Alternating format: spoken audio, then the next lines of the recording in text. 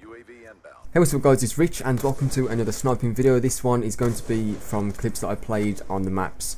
Standoff, Raid as you can see and Turbine which I was playing earlier on today and I was going to do a video originally on the patch that I did this morning which was the PDW and the MSMC nerf along with the KAP-40 and I believe the FAL Select Fire was nerfed as well.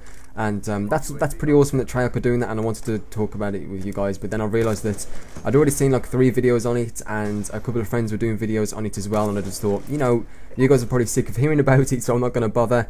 But I will be trying out those guns in tonight's live stream. We'll be playing some League play again tonight hopefully with Benny and Ali. Look at this by the way. I kind of gave up on that life. I just thought you know I missed my shot I had to reload and I just thought the Prestige Master was going to clean me up uh, but you know, I just lay down on the floor and accepted my fate. But then I thought this guy's reloading, so I took out my uh, B23R, dodged the knife, and I stayed alive somehow. I don't know how that happened. So uh, yeah, I was gonna do a, a, video on the patch notes and whatever, but then uh, you know I realised that everyone had already already done one. I had like a late start on today because I was up at 7 a.m.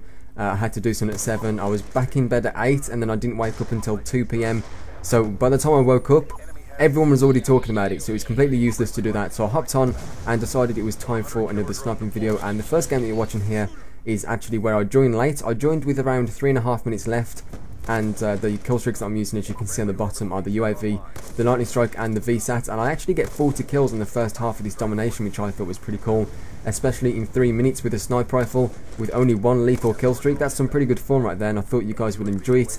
And the other, like, three clips you'll see uh, just some uh, really short clips compared to this one where I just, you know, get a nice clip or whatever. So hopefully you guys enjoy that. And my shot, by the way, in these videos is a little bit off. The reason for that is I've been playing a lot of League plays. A lot of you guys may know I live streamed it for six hours yesterday, which was insane.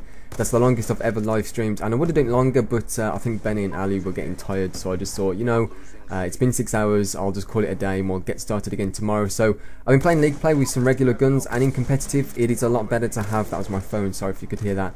It's a lot better to have a lower sensitivity because the people in there can actually shoot and it helps if you can actually shoot back as well.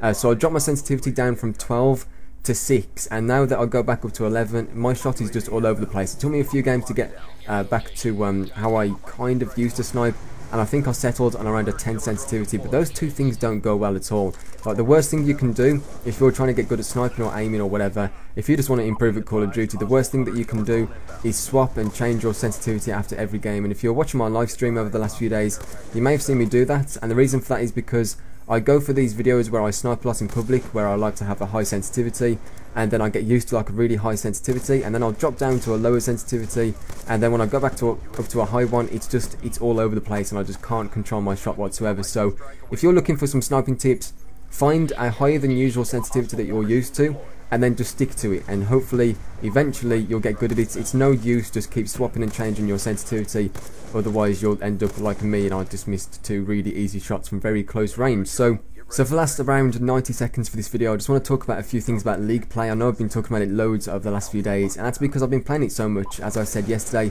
I live streamed it for three hours. The other day I was live streaming it for five hours and three hours and stuff like that. And uh, I want to make loads of videos on League Play, but I don't know what to do because it seems that uh, when I do well, I always have like a spell of the game where I die loads and I don't really want to show that. Not because I'm embarrassed about it, like obviously I die a lot in competitive play, uh, but because it's not too interesting when you see me rush to the same place and die like five times in a row, which has happened in the past and I've you know gone negative or whatever. So I was thinking about some kind of series where I try and get uh, in Masters or Platinum in the five placement matches. I don't think you can get Masters straight away after the um, the five placement matches, but I was thinking about doing some like kind of highlight reel of my league play experiences over the last couple of days and hopefully you guys would enjoy that so if you've got any like suggestions on what to do in league play I'm kind of lost and confused about what people generally upload from that kind of um, you know competitive scene or whatever. Uh, so if you could leave a comment and a suggestion, I'll read through all of them as I uh, as I always do. Even that, I didn't even realise that was a collateral. That was insane. That would have been a quad feed look if it wasn't split like 18 times thanks to Ground War. I didn't even realise that was a collateral when I was playing the game. That was pretty awesome. Anyway, uh, so yeah, leave a like rating if you enjoyed the video, leave a comment about the suggestions, and this video is coming to an end. I think I just finish off a few more dudes here, which is the probably the gayest thing I've ever said in my entire life. Get my lightning strike, and I think I get a quad or a five man with this. So I'm going to leave you that, guys. Thank you so much for watching, and uh, yeah, I'll see you in tonight's live stream if you want to come along. So see you then, guys.